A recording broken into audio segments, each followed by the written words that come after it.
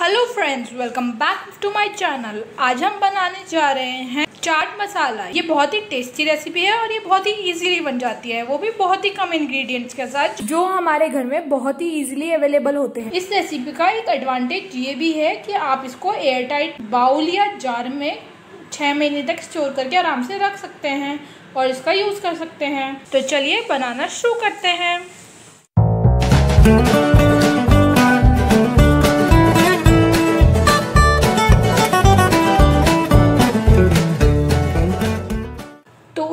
Ingredients कुछ इस तरह से होंगे। 50 ग्राम धनिया।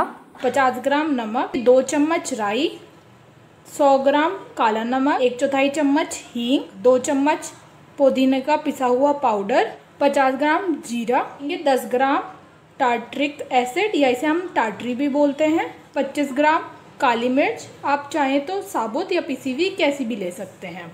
25 ग्राम आमचूर पाउडर 50 ग्राम लाल मिर्च। आप चाहें तो इसकी जगह साबुत मिर्च का भी इस्तेमाल कर सकते हैं।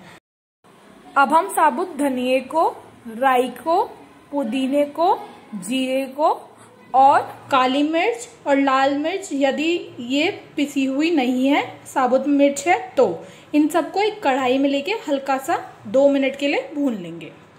अब ये मैंने एक कढ़ाई में ये सारे जो मैंने इंग्रेडिएंट्स आपको बताए थे इनको डाल लिया है और हम इनको बस गरम करने लायक ताकि ये अच्छे से पिस जाएँ, इतना भून लेंगे। मेरी मिर्च पिसी हुई थी, इसलिए मैंने मिर्च नहीं ऐड करी है। अगर आपकी पिसी हुई मिर्च नहीं है तो आप मिर्च भी इसमें ऐड कर दीजिए। हमें इसको हल्का ही भूनना है। अब हमारे मसाले भुन के रेडी हो चुके हैं। अब हम इसको ठंडा करने के लिए रख देते हैं। और जब ये ठंडा हो जाएगा, हम इसको और अपने बाकी के सारे इंग्रेडिएंट्स को मिक्सर जार में डालकर पीस लेंगे। ये देखिए, हमारे सारे मसाले जो कढ़ाई में हमने भुने थे, ये ठंडे हो चुके हैं। अब हम इसको मिक्सर जार में बाकी मसालों के साथ ऐड करके पीस लेंगे। इस मसाले को हमें बिल्कुल बारीक पीसना है। ये देखिए, मैंने ग्राइंडर जार ले लिया है। अब मैं अपने जो सारे भुने हुए मसाले थे, सबसे पहले वो ऐड कर रही हूँ इसमें। अब मैं जो बाकी के मसाले हैं, वो भी ऐड कर देती हूँ।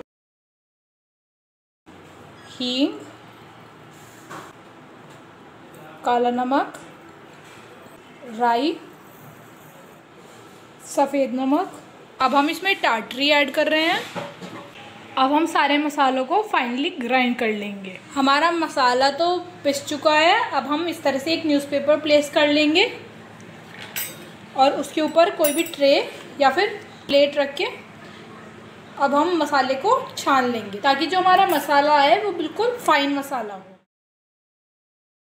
देखिए, इस तरह से थोड़ा थोड़ा मसाला निकाल के छान लेंगे। जो मोटा मसाला ऊपर बच जाएगा, उसे हम दोबारा से मिक्सी में ग्राइंड करके फिर से छान लेंगे। देखिए, हम इसको इस तरह से करके छान लेंगे। चाट मसाला छानने के बाद, ये देखिए मेरा ये ऊपर बच गया है, मैं इसको दोबारा से मिक्सी में ग्राइंड करके फिर से छान लूँगी और इसी मसाले में मिक्स कर लूँगी।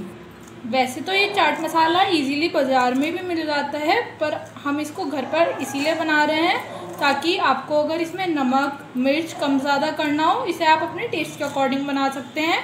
दूसरा, ये बिल्कुल प्योर बनेगा। क्योंकि ये सब मसाले जो इसमें यूज़ हुए हैं, ये बिल्कुल प्योर मसाले यूज़ हुए हैं।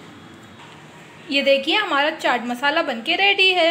ये बहुत ही टेस्टी है। आप इसको ज़रूर ट्राई करिएगा और ये बहुत ही आसान भी है बनाना। So please like my video and subscribe to my channel and bell icon को प्रेस करना ना भूलें। और कमेंट्स में मुझे ज़रूर बताएँ कि आपको ये रेसिपी कैसी लगी। Thank you